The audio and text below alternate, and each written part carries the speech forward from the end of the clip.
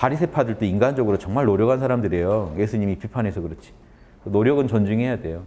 그 당시 정결 운동을 통해서 지상에 천국 만들겠다고 십계명을 목숨 걸고 지킨 사람들이에요. 바리새파인들이.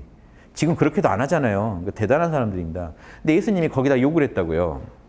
대단한데 그렇게 해서는 답이 안 나올 거야. 라는 얘기를 해준 거예요. 사랑하니까 얘기를 해준 거예요. 지금 막 비트코인에 목숨을 거는데 이제 아 얘기를 해줘야 돼 말아야 돼. 지금 들어가면 돈 못 벌 것 같아. 이 얘기를 해야 돼 말아야 돼.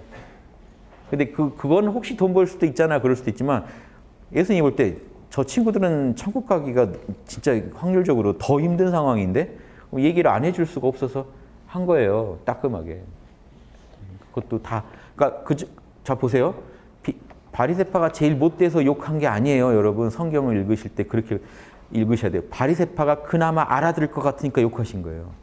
다른 파들한테 욕도 안 했어요. 욕도 아깝거든요.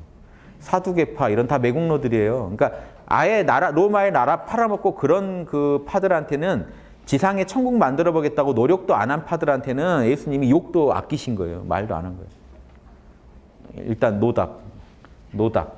근데 바리새파를 보면 안타까운 거예요. 아 얘네들은 좀만 방향만 바꾸면 될 것 같은데 안 되고 있는 이거. 저도 지금 정, 불교나 기독교 분들한테 이런 막좀 비판적인 말을 해가면서 이 강의를 하고 있는 이유가 뭐냐면 지금 영성을 찾고 있지 않은 사람들한테 제가 이제 이 얘기하기는 너무 지금 힘들고 찾고 계시잖아요. 생을 걸고 찾고 있다고 하셨잖아요. 그러면 제 얘기 듣고 좀 참고해 보실 만 하지 않나요?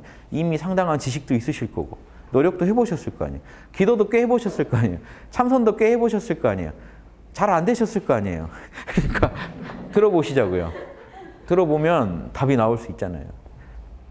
그런 거라고 저는 이해해요. 예수님의 그런 바리세파 비판에 대해서 저는 바리세파들의 그 노력을 되게 존중합니다. 얼마나 안타까우면 계속 얘기했겠냐는 거죠.